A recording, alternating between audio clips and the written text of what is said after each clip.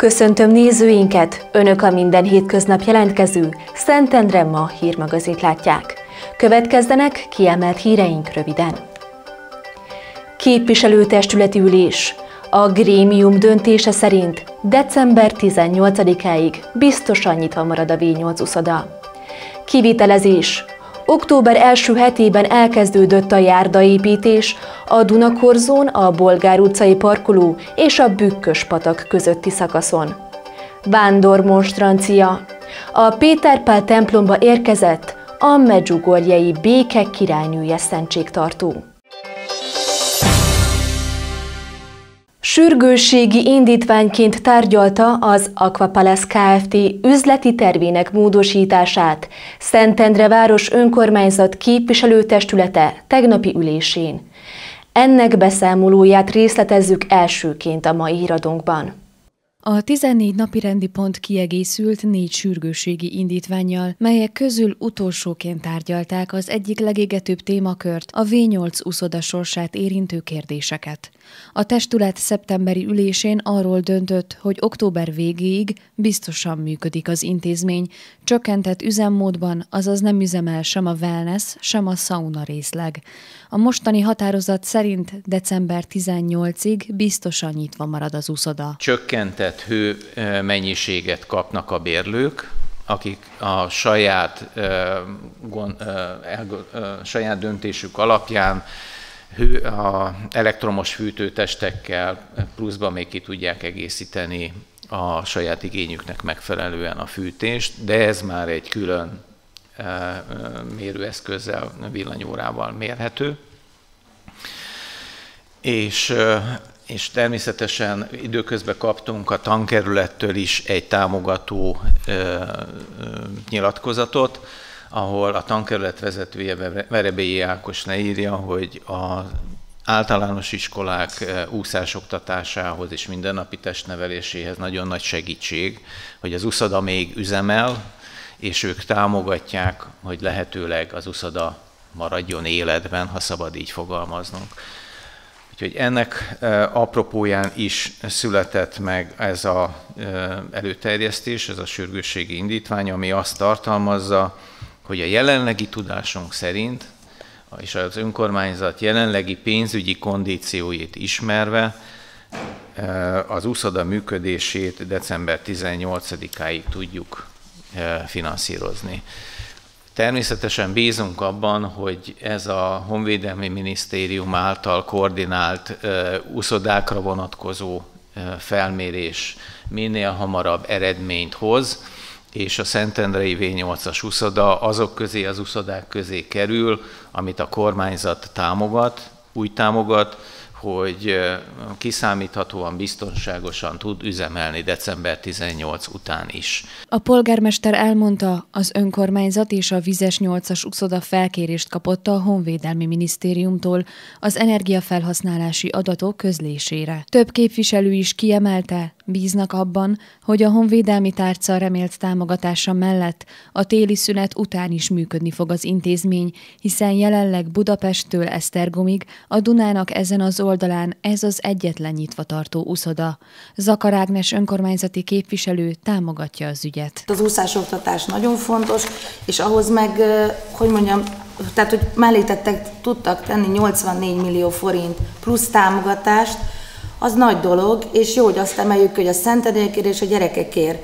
Tehát az önkormányzatnak és a költségvetésnek, a polgármesterasszonynak, vagy akinek kell ezt megköszönni, és nem akarom hosszan húzni, tehát támogatom a, az előterjesztést, hogy amikből elveszünk, tehát például a hív környéki ingatlanvásárlás, illetve hogy a tartalék sorából és a pomázút burkolat, nem, nem ilyen demagógon kérdezem, tehát gondolom, hogy ezek, hogy úgy mondjam, pótolhatóak, hogyha erről alpolgármester azt, hogy mondana mondjuk egy mondatot, hogy ezt a plusz 80 milliót, amit most beteszünk és be tud tenni az önkormányzat, amihez örülök és gratulálok és támogatom, hogy ez röviden, hogy mit, mit okoz, milyen következménye van. Köszönöm szépen. Reméljük, hogy pótolható, hiszen a Pomázi úti önrész az a pályázathoz volt biztosítva. Sajnos a pályázaton nem nyertünk. Tehát, hogy nem, Így. A másik pedig a hévvel kapcsolatban annak a kis épületnek a kisajátításával, ott a MÁFÉV elutasította a kisajátítási kérelmünket, tehát hogy ott elindul a szokásos jogmenet a kisajátítással kapcsolatban, és ez, ez ebben az évben nem fog lezáródni, tehát ott felszabadul az itt félretett pénz, és akkor ennek megfelelően ezt végig kell menni. Fülöp Zsolt hozzátette, a V8 működtetéséhez nagyban hozzájárul, hogy az önkormányzat mellett a sportegyesületek és a bérlők is plusz kiadásokat vesznek magukra. Erre a közteherviselésre kéri a város polgárait, hogy a napi egy vásárlásával segítsék az intézmény életben tartását.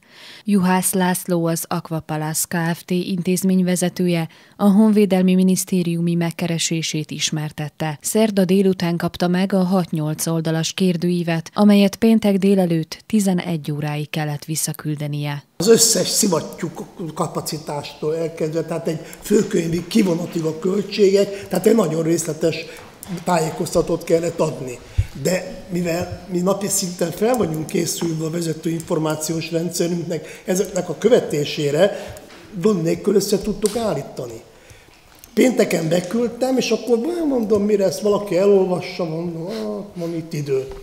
Péntek délután már telefonáltak, hogy mikor tudnak jönni helyszíni szemlét tartani. És hétfőn reggel már ott voltak kint a helyszíni szemlén. És nagyon nagy szerencsénk volt, hogy a helyszíni szemlére kiérkező két jó fia úriember, mikor bementünk az uszoda térbe, a 12 sávból 10 sávba 150 iskolás gyerek úszott, és el volt ájulva, hogy ennyi. Hát mondom, és most nincs is tele, mondom, mert szerdán gyere, akkor még többen vannak, akkor egy fél sáv nincsen. És azt mondta, hogy na, azt mondja, ez, ez szép, ez jó. Tehát, tehát azt mondta, hogy, hogy látja azt a törődést, hogy amikor azt mondjuk, hogy a gyerekek jönnek 6 vagy 7 iskolából, és azt mondjuk, hogy ingyen. Nem ingyen jönnek. Tehát tény, az iskolának nem kell fizetni, a szülőnek nem kell fizetni, de az önkormányzatnak kell fizetni. Csak az önkormányzat nem a szülőnek adja oda, hanem a létesítménynek adja a támogatást, amiben most bizunk, hogy a sportminisztérium és az államtitkárság is azt fogja csinálni, hogy megtámogat, nem csak az egyesületeket támogatják, hanem a létesítményt is valamilyen úton, módon megpróbálják támogatni. De ha ezt meg is kapjuk, ezt a pénzt, ezt megint azt mondom, nem jött volna ez létre, ha a hét egyesület, akivel szerződésbe vagyunk, és kedden le, azt mondom nekik, hogy holnap csütörtökön találkozzunk reggel tízkor, mert ég a ház, meg kell beszélni valamit, és mind a hét egyesület elnöke ott van, és elmondom, hogy mi a probléma, és hogy hogy lehetne megoldani, és abban a pillanatban, nem abban a pillanatban vitatkoztunk egy órát másfelet, de úgy mentek el, hogy a szándék nyilatkozatot mindenki aláírta. Tehát ez is benne van ebbe a, az összefogásos ö. A sürgősségi indítványt 15 igen mellett elfogadta a testület.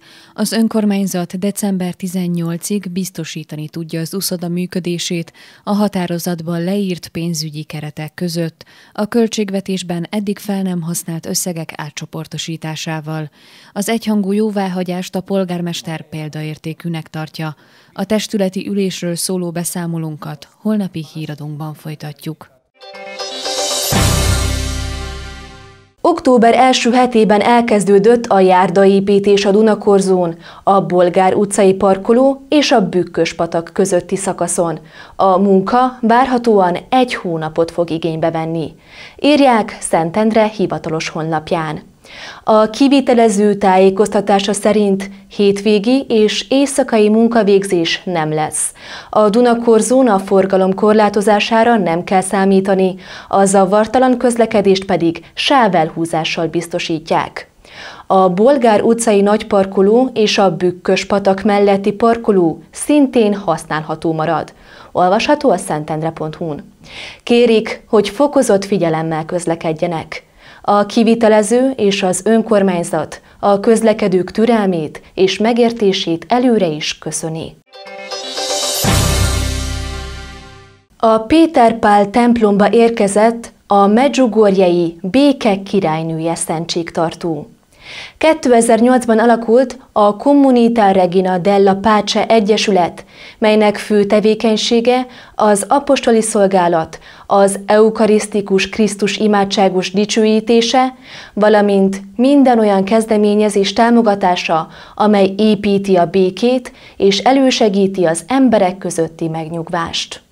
Kettős eseményt ünnepel ma az egyházközség, a Fatime jelenések évfordulóját, valamint azt, hogy a vándormonstrancia Szentendrére érkezett a Fatimai jelenések évfordulója, október 13-át írunk ma.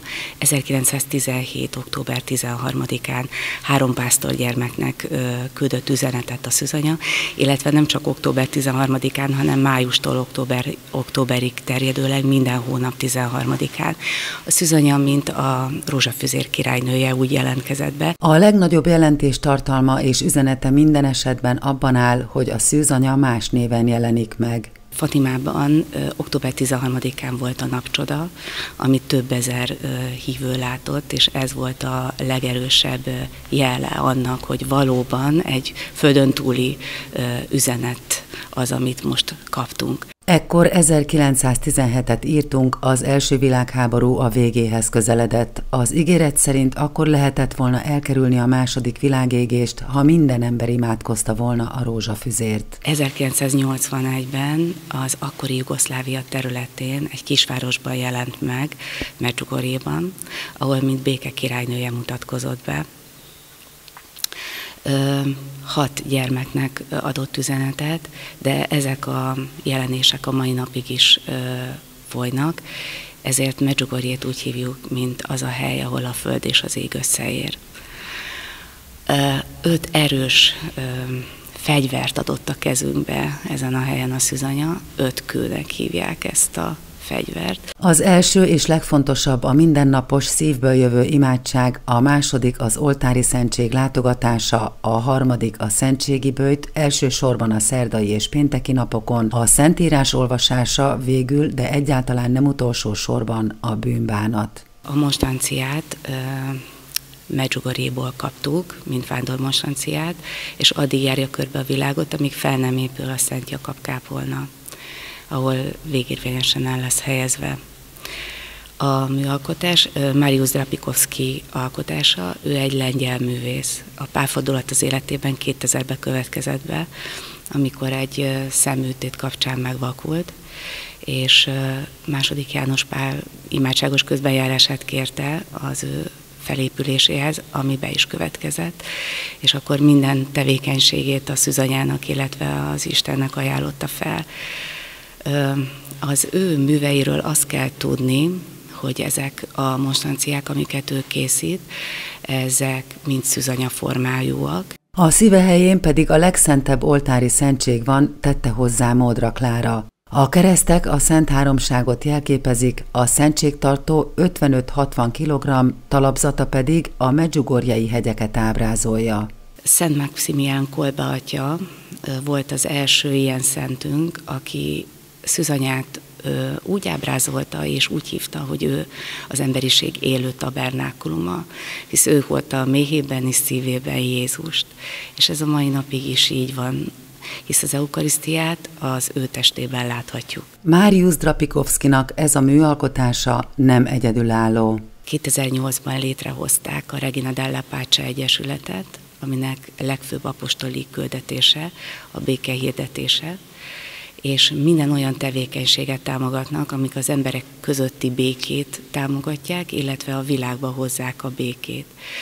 És azt vallják, hogy nem lehet sem politikai, sem pedig gazdasági eszközökkel kikényszeríteni a békét, hanem csak térden állva, imával és ez a legnagyobb üzenete azt hiszem ennek az egésznek. Magának a mostanciának is ez a célja, hogy körbejárja a világot, mint is, mint egy szent edényt megtöltsük az imáinkkal, a békeimáinkkal és vágyainkkal. Nagyon gazdag a szimbolikája, értékes köveket tartalmaz. A szűzanya koronájában a 12 követ a NASA közreműködésével kapta meg Drapikovski úr, ez 12 csillagból származó kő, és a testét borító féldrágakövek és drágakövek, azok pedig szintén jelentős tartalommal rendelkeznek. A fehér az a tisztaságot jelképezi, a sárga az Isten dicsőségét, a zöld a szüzességet, az égszínkék pedig Mária szeplőtelenségét és amennyiben az ember előtte térdel és imádkozik, akkor nagyon elmélyült imára sarkal, és nagyon sok segítséget ad az elmélyült imához, ez a szépség. Én azt gondolom, hogy egy abszolút földön túli szépséget képvisel, nem, nem találkoztunk még hasonlóval sem, de Drapikoszki úr minden egyes műalkotása ilyen és minden egyes műalkotásában Mária van jelen. Szépségével az élő Isten imádására buzdít, gazdag vallási szimbolikájával pedig az imádságban segít. A monstrancia ma és holnap tekinthető meg a Péter Pál templomban. Részletek a Szentendrei Keresztelő Szent János plébánia közösségi és hivatalos oldalán.